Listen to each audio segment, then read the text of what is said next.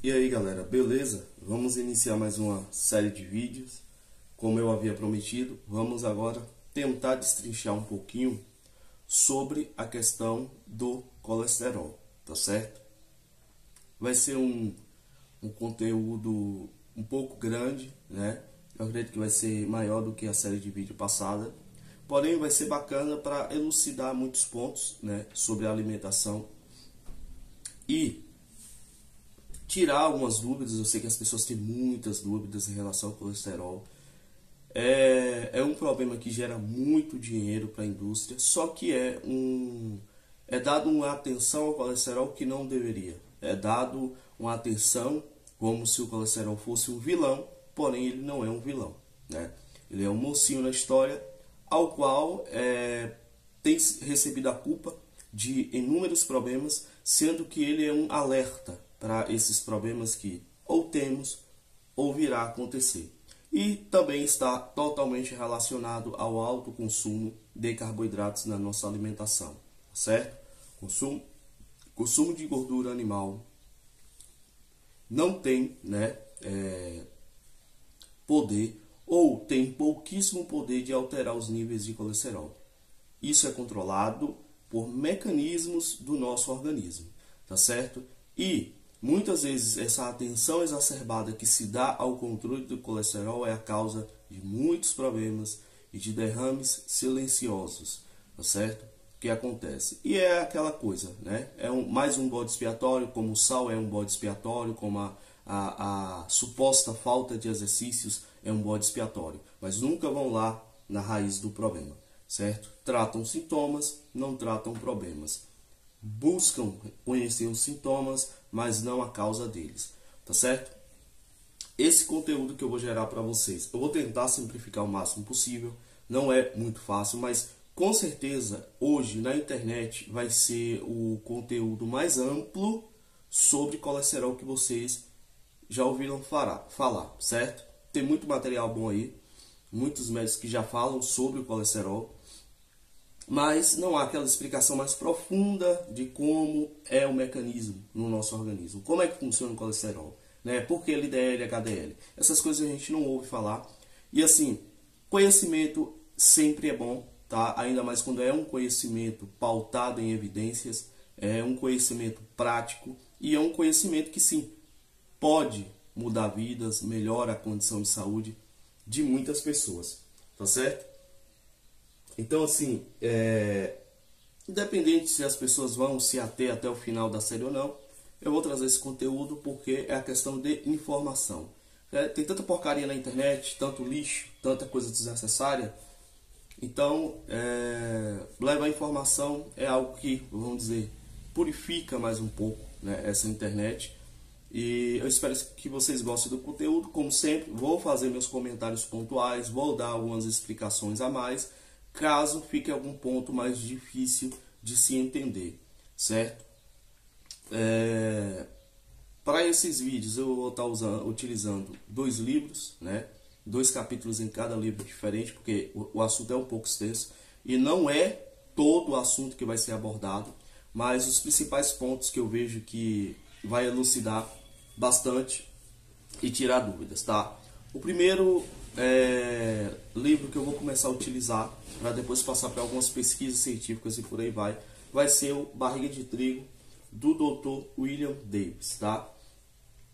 Todo esse material dele aqui é baseado nos atendimentos de consulta, nas pesquisas que ele fez, certo? É um médico cardiologista, ele é bastante renomado dentro dos Estados Unidos e é um cara que acompanhou muitas mudanças no estilo de vida alimentar dos americanos e viu que causou muito problema e ele começou a ter uma abordagem diferente com seus pacientes, tá certo? É... O capítulo em questão que eu vou trabalhar nesse livro vai ser um único capítulo, tá? Vai ser o capítulo 10, como vocês podem ver aqui, ó. Capítulo 10. Minhas partículas são maiores que as suas, o trigo e a doença cardíaca, certo? O trigo aqui, quando ele fala do trigo, é, com, é, quando, é como quando eu falo de açúcar e carboidrato. Estamos englobando tudo, tá? o que se diz concernente a carboidrato, apesar desse livro aqui dar um foco essencial no ópio de cada dia nosso, que é o trigo, né? Que está na mesa aí de todo mundo. O outro livro que eu vou trabalhar, certo? Para gerar o conteúdo é esse livro aqui, né? Um livro fenomenal, sensacional, da Nina Teixos, Gordura Sem Medo, tá? A linguagem que é um pouquinho mais complicada. Aqui é muito mais descontraído, o Dr. William Davis tenta passar de uma forma simples, né? Porque aqui é para o público geral, aqui é um livro de pesquisa, né? De estudo científico. E o capítulo que eu vou trabalhar aqui é o capítulo 6, né? É... Do livro da Nina Teixos. Certo? Já deixei marcado aqui. Efeitos da dieta de baixo teor de gordura sobre mulheres e crianças. E sim, as mulheres se beneficiam de um colesterol mais alto. Mas esse aqui eu vou abordar depois que eu terminar esse capítulo aqui. Lembrando, eu vou tentar manter a média de vídeos aí entre 30 e 40 minutos, como comum certo? Sempre voltando com esses comentários pontuais aqui iniciais para tirar alguma dúvida. Eu espero que vocês tenham gostado da série passada, né? Que foi açúcar, carboidrato, é... insulina e o câncer, né? Agora vamos tratar do colesterol, que é um assunto totalmente interligado. Querendo ou não, é um assunto totalmente interligado.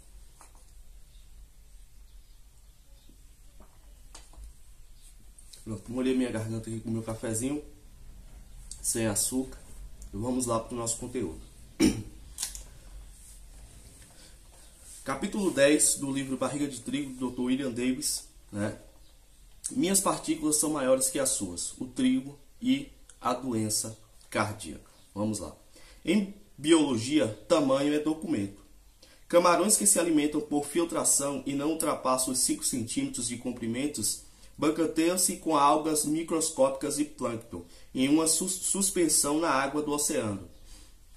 Grandes peixes predadores e aves, por sua vez, consomem os camarões. Os camarões. No mundo vegetal, as árvores mais altas, como as sumaúnas de 60 metros de altura das florestas tropicais, ganham vantagem por atingirem uma altura superior ao dossel da selva, em busca da luz necessária para a fotossíntese, lançando sombras sobre as plantas e árvores que lá embaixo se esforçam para atingir o sol. E por aí vai.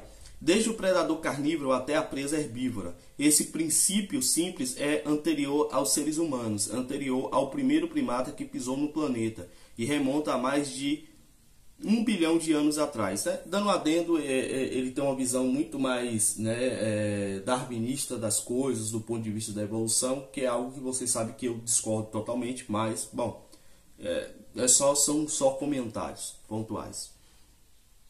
Certo? Anterior ao primeiro primata que pisou no planeta e remonta a mais de um bilhão de anos atrás, quando organismos multicelulares ganharam vantagens evolutiva em relação aos organismos unicelulares, abrindo caminho através dos mares primordiais. Em inúmeras situações da natureza, maior é melhor. A lei do maior do mundo vegetal e dos oceanos aplica-se também ao microcosmo no interior do corpo humano. Na corrente sanguínea humana, partículas de lipoproteínas de baixa densidade, que é o LDL, né, mais comumente conhecido, Ó, partículas de lipoproteínas de baixa densidade, LDL. O que a maioria das pessoas identifica equivocadamente como colesterol LDL, né? que é outro, outro equívoco que a gente vai tirar. Não existe essa de LDL, HDL, é colesterol. Tá? Aí você vai ter dentro do colesterol essas lipoproteínas que se diferenciam em nomes. Então, o mais comum que a gente conhece é LDL, HDL. Só que tem vários tipos, são 11, tá? Seguem as mesmas regras do tamanho válidas para os camarões e plâncton. As partículas grandes de LDL são, como seu nome sugere, relativamente grandes. As partículas pequenas de LDL são, você já adivinhou, pequenas. No interior do corpo humano, as partículas grandes de LDL proporcionam a vantagem de sobrevivência ao hospedeiro humano. Estamos falando de diferenças de tamanho de ordem de 1 nanômetro. na ordem de 1 bilionésimo de metro. Partículas grandes de LDL têm um diâmetro de 25,5 nanômetros ou mais, enquanto as partículas pequenas têm menos de 25,5 nanômetros de diâmetro. Isso significa que as partículas de LDL, tanto as grandes quanto as pequenas, são milhares de vezes menores que um globo vermelho, mas maiores do que uma molécula de colesterol. Cerca de 10 mil partículas de LDL caberiam no, no ponto, no final desta frase. Para as partículas de LDL, o tamanho é claro, não representa a diferença entre comer ou ser comido. Ele determina se as partículas de LDL vão se acumular nas paredes das artérias, como as artérias do seu coração, as coronárias, de seu pescoço, seu cérebro, artérias carótidas e cerebrais. Em suma, o tamanho das partículas de LDL determinam em grande parte se você terá um ataque cardíaco ou AVC, acidente vascular cerebral, aos 57 anos de idade, ou se vai continuar a puxar a alavanca da máquina caçanicas aos 87 anos. Então, lembrando, né? O que, que ele diz? Ó? Em suma, o tamanho das partículas de LDL determina em grande parte se você terá um ataque cardíaco ou AVC. Tá? Por que determina? Porque é um marcador. É a causa? Não é a causa. Tá? O acúmulo de colesterol nas artérias não é a causa do AVC. É um aviso. O que está causando isso são outros problemas que a gente vai ver no decorrer dos estudos. Então, aquele alarme, nossa, é, você está com colesterol alto, o colesterol alto está indicando que você está em um processo inflamatório no seu corpo, nas suas artérias. A questão aqui é descobrirmos o que está causando a inflamação, fazendo com que o colesterol haja. E como é que o colesterol age? Sendo um anti-inflamatório natural. O colesterol, ele meio que barra o processo de inflamação. Ele não causa a inflamação, ele não causa o entupimento, ele barra o processo, tá? Ele segura. É o que a gente vai ver aqui no estudo, tá certo? Continuando. As partículas pequenas de LDL são, na realidade, uma causa extra, extraordinariamente comum de doenças cardíacas, que se revelam como ataques cardíacos, necessidade de angioplastias e pontes de safena, colocação de stents e muitas outras manifestações de doenças coronarianas aterosclerótica. Vamos lá. Em minha experiência pessoal com milhares de pacientes que sofrem de doenças cardíacas, aproximadamente 90% deles expressam um padrão de partículas pequenas LDL em um grau no mínimo moderado, se não grave, certo? É... Notas: bolinhos fazem você encolher. Be Beba-me. Então Alice bebeu a poção e descobriu com 25 centímetros de altura capaz agora de passar pela porta e ir brincar com o chapeleiro maluco e o gato risonho. Para as partículas de LDL, o bolinho de farelo ou o bagel de 10 grãos que você comeu hoje de manhã são igualzinhos à poção Beba-me de Alice. Eles as tornaram menores. Bolinhos de farelo e outros produtos feitos do trigo farão com que as partículas de LDL encolham, reduzindo seu diâmetro de, digamos, de 20 nanômetros para 23 ou 24 nanômetros. Assim como Alice conseguiu passar pela portinha minúscula quando encolheu até ficar com 25 centímetros de altura, também a redução do tamanho das partículas de LDL permite que elas enveredem por uma série de desventuras singulares que as partículas de LDL de tamanho normal não têm como experimentar. Como seres humanos, as partículas de LDL apresentam uma faixa variada de tipos de personalidade. As partículas grandes de LDL são o funcionário público impassível, que cumpre seu horário de trabalho e recebe seu pagamento, tudo na expectativa de uma confortável aposentadoria sustentada pelo Estado. As partículas pequenas de LDL são as partículas frenéticas, antissociais perturbadas pela cocaína, que não obedecem às regras, causando danos indiscriminadamente só para se divertir. De fato, se você pudesse projetar uma partícula maléfica perfeitamente adequada para formar pastosas placas ateroscleróticas nas paredes das artérias projetaria as partículas pequenas de LDL. Então, o que a gente subentende aqui? Que os carboidratos, o trigo, faz com que a gente libere mais essas partículas pequenas que são maléficas, ou indicativo de que não vai bem. Tá? Enquanto a alimentação com baixo consumo de carboidrato faz com que o colesterol LDL, tá? Esse segmento tenham partículas grandes e flutuantes, né? Que a gente vai entender mais para frente como é que isso funciona, que é benéfico, que é um bom indicativo. No fígado, as partículas grandes de LDL são absorvidas pelos receptores de LDL, destinados ao descarte, e seguem a rota fisiológica normal do metabolismo de partículas de LDL. Em comparação, esses receptores não conseguem identificar muito bem as partículas pequenas de LDL, permitindo que elas permaneçam muito mais tempo na corrente sanguínea. Resultado: as partículas pequenas de LDL, que duram em média 5 dias, em contraste com os 3 dias da duração das partículas grandes de LDL, tem mais tempo para dar origem à placa aterosclerótica, ainda que as partículas grandes de LDL sejam produzidas à mesma velocidade que as partículas pequenas.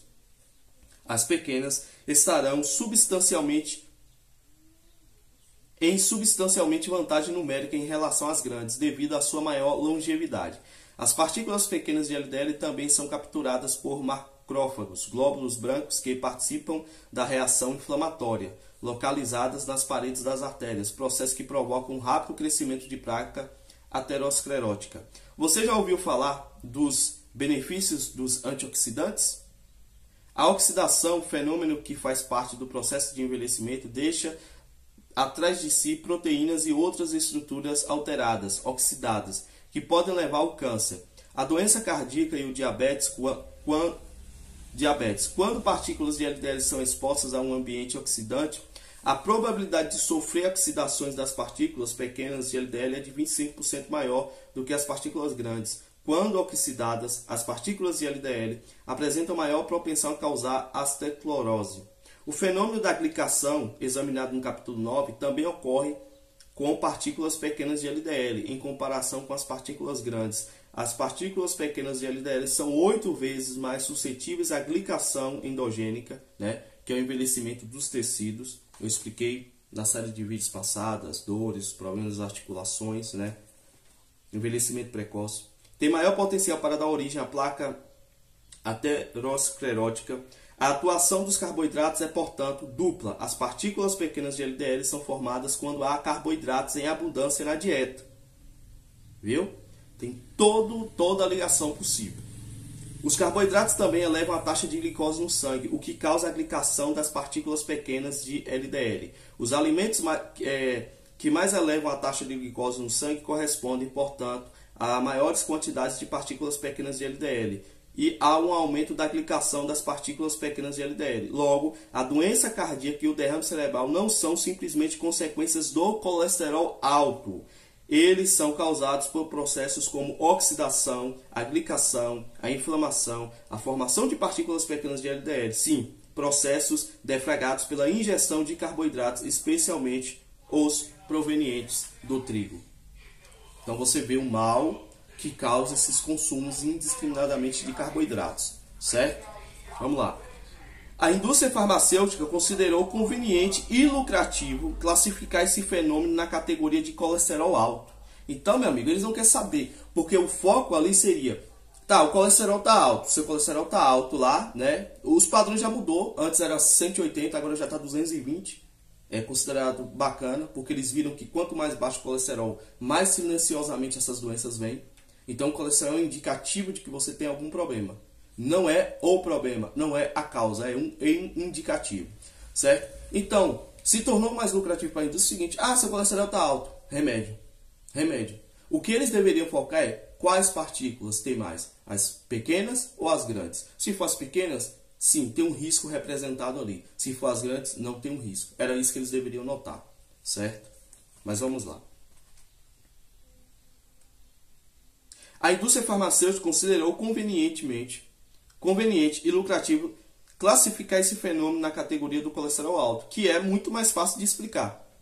Contudo, o colesterol tem pouco a ver com doença da aterosclerose. O colesterol é uma forma conveniente de medição, um resquício de uma era em que não era possível caracterizar e medir os diferentes tipos de lipoproteínas, isso é, proteínas que transportam lipídios. Né? Lipídios é, são gorduras, tá? mas nem, toda, nem todo lipídio é gordura, certo?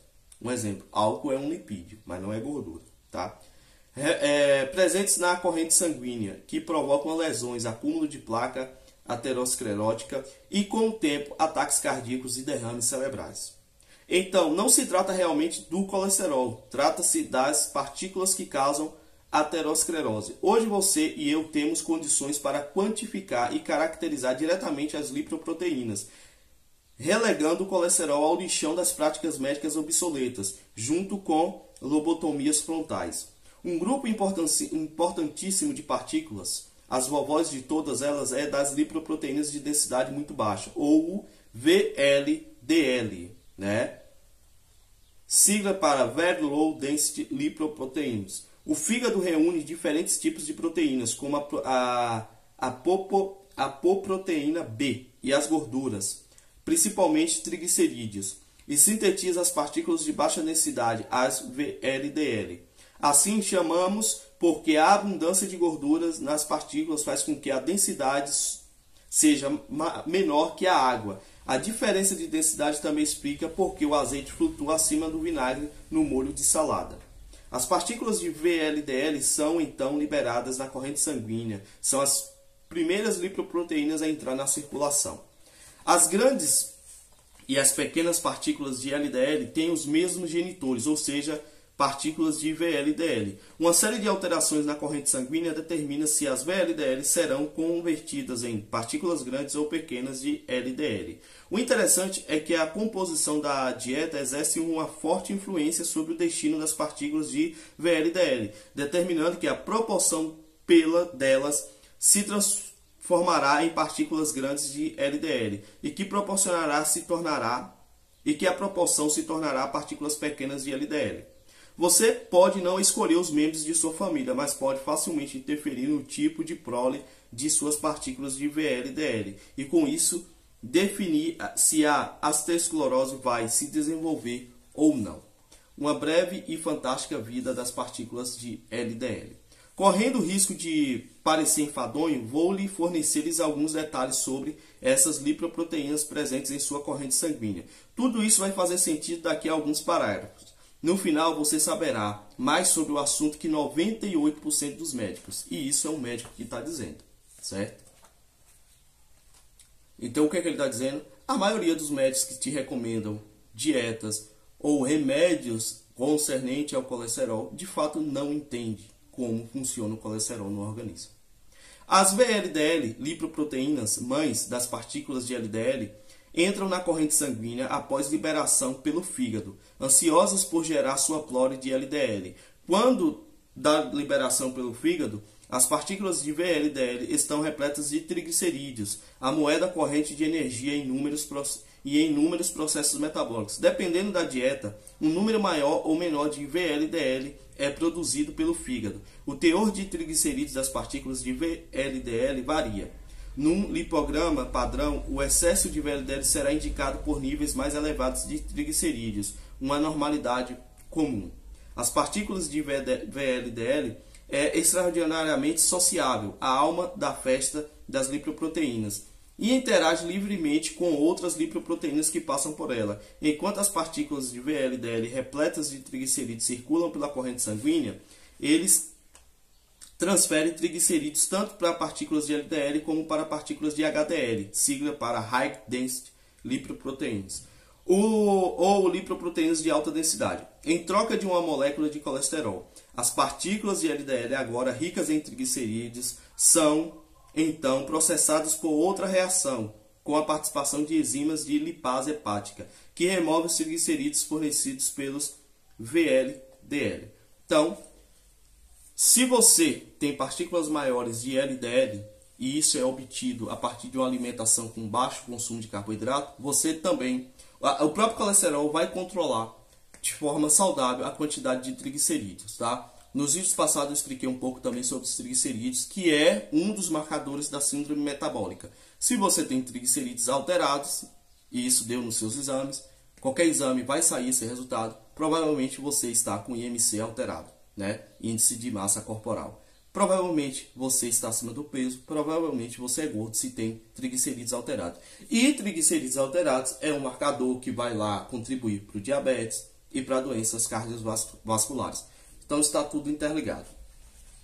Desse modo, a partícula de LDL que no início do processo são grandes, com um diâmetro de 25,5 nanômetros ou mais, recebem triglicerídeos das VLDLs em troca de colesterol. Em seguida, elas perdem esses triglicerídeos. Resultados: as partículas de LDL que perdem tanto colesterol como os triglicerídeos têm seu tamanho reduzido em alguns nanômetros. Não é preciso muito no que se diz respeito ao excesso de triglicerídeos provenientes do VLDL para dar início ao processo de criação de partículas pequenas de LDL. Com a taxa de triglicerídeos de 133 mgdl ou superior, dentro do limite considerado normal de 150 mg, 80% das pessoas desenvolvem partículas pequenas de LDL. Em um grande levantamento realizado com norte-americanos a partir de, dos 20 anos de idade, verificou-se que 36% deles apresentam taxas de, de triglicerídeos de 150 mgdl ou mais elevadas, mais que o suficiente para criar partículas pequenas de LDL. Então, geralmente pessoas com 150 mgdl, certo, de triglicerídeos da corrente sanguínea, elas já estão com um risco aumentado e provavelmente sobrepeso, certo? Que é o que a maioria acaba dando mesmo, dá alterada. Essa proporção sobe para 42% das pessoas com 60 anos ou mais. Em pessoas que sofrem de doenças coronarianas, a proporção dos que têm partículas pequenas de LDL ultrapassa a de todas as outras perturbações. As partículas pequenas de LDL são, de longe, o padrão expresso com mais frequência. Isso apenas no que se refere aos triglicerídeos e às partículas de VLDL, presentes no costumeiro exame de sangue em jejum. Se incluirmos nos cálculos o aumento da taxa de triglicerídeos que geralmente acompanha uma refeição, o período pós-pandrial, aumenta que tipicamente multiplica de duas a quatro vezes os níveis de triglicerídeos por algumas horas. As partículas pequenas de LDL são acionadas num ritmo ainda maior. É provável que esse seja o motivo, ao menos em boa parte, pela qual os triglicerídeos sem jejum, isto é, a medida da taxa de triglicerídeos sem jejum prévio, está se revelando uma impressionante ferramenta para prognóstico de ataques cardíacos em um risco de 5 a 17% maior de ataques cardíacos em pessoas que apresentam níveis mais elevados de triglicerídeos sem jejum. A lipoproteína VLDL é, portanto, o ponto de partida crucial para desencadear a série de eventos que leva à produção de partículas pequenas de LDL. Qualquer coisa que faça com que o fígado produza mais partículas de VLDL ou aumente o teor de triglicerídeos das partículas de VLDL, deflagrará o processo. Então, os alimentos que aumentam a produção de triglicerídeos, eles são uma das causas que aumentará a probabilidade na vida de você ter derrames, infartos, diabetes, por aí vai. E o que é que aumenta a quantidade de triglicerídeos na corrente sanguínea? Uma alimentação baseada em um alto consumo de carboidratos. Qualquer alimento que aumente o nível dos triglicerídeos de VLDL por algumas horas após a refeição, ou seja, no período pós-pandrial, também é, levarão ao aumento de partículas pequenas de LDL. Alquimia nutricional, convertendo pão em triglicerídeos. E aí agora a gente vai entender um pouco como é esse processo. Por que os triglicerídeos aumentam? O que a gente consome para isso, né? Portanto, o que dá início a todo o processo causando o aumento das partículas de VLDL e dos triglicerídeos, que por sua vez é, a formação de partículas pequenas de LDL causadoras da placa aterosclerótica.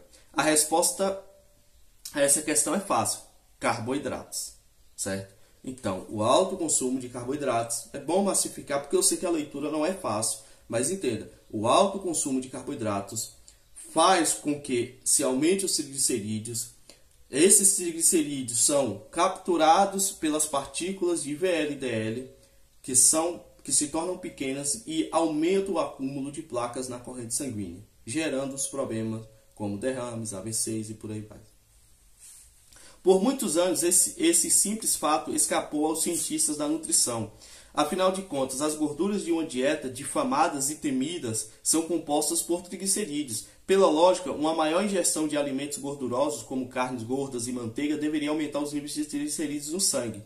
Isso se revelou verdadeiro, mas esse aumento é transitório e apresenta pequena intensidade. Né? Aumenta? Aumenta, mas é pequeno e transitório. Agora, as mudanças que a gente faz concernente ao carboidrato, isso aí se perdura, porque a pessoa vai ficar gorda, né? O tempo todo enquanto come essas coisas. Mais recentemente, tornou-se claro que, embora o aumento na ingestão de gorduras de fato encaminhe maior quantidade de triglicerídeos para o fígado e para a corrente sanguínea, ele também interrompe a produção de triglicerídeos pelo próprio corpo. Quer dizer, olha que interessante. Por mais que comer gordura e carne aumente os triglicerídeos na corrente sanguínea naquele momento, o que é que vai acontecer? O corpo para de produzir triglicerídeos, então fica elas por elas, entendeu?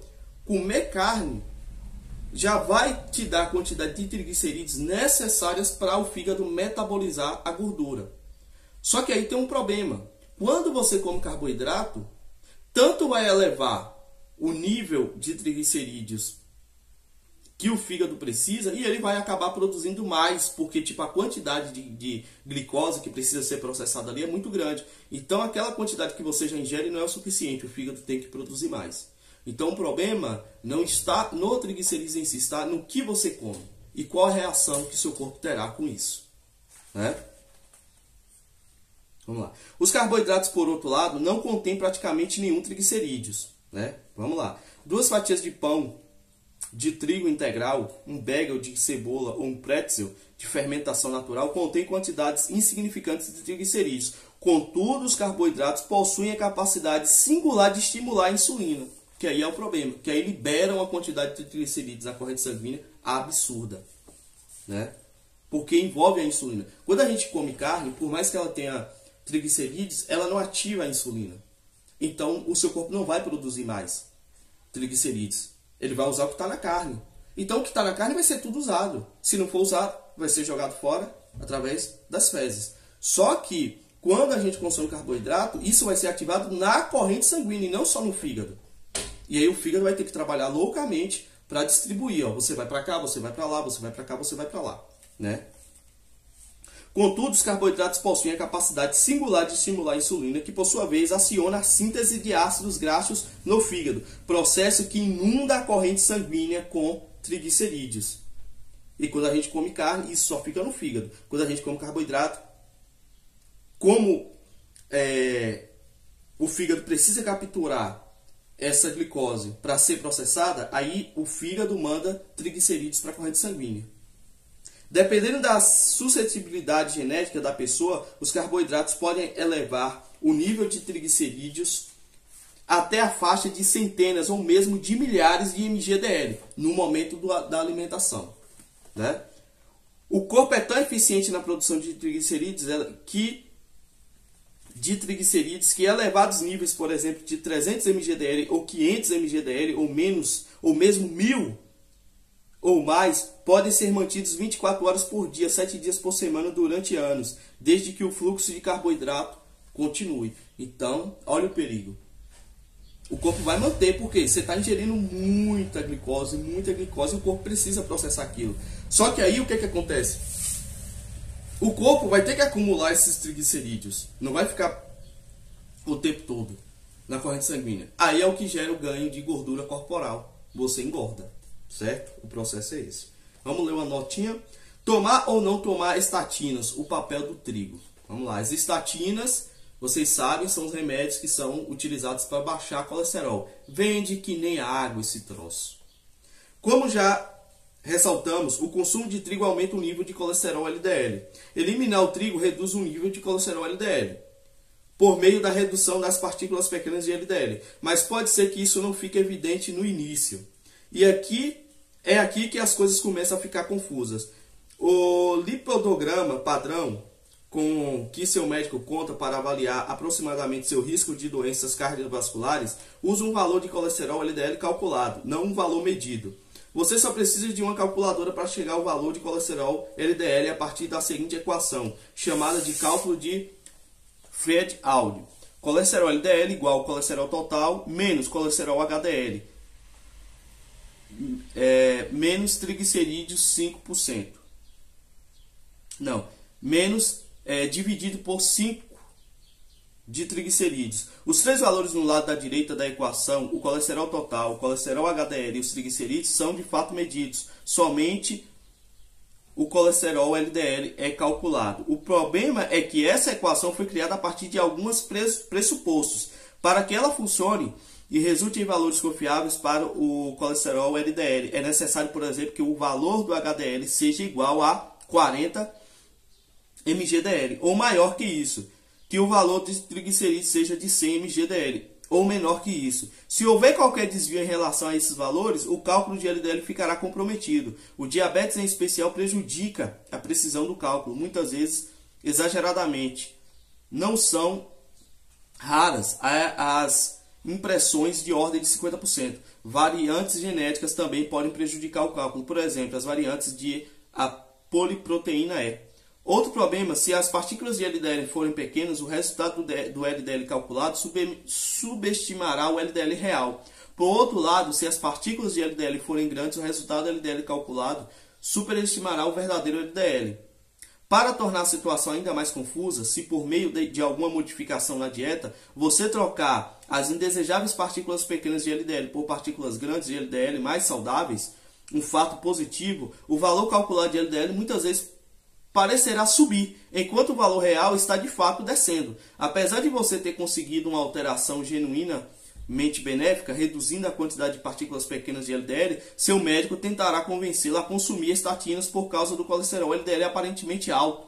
É por esse motivo que chamo o colesterol LDL de LDL fictício, uma crítica que não impediu a indústria farmacêutica sempre empreendedora, né? Sempre de obter 27 bilhões de dólares em faturamento anual com a venda de estatinas. Pode ser que eles lhe façam bem, pode ser que não. Tipo, eles nem sabem qual é o resultado disso.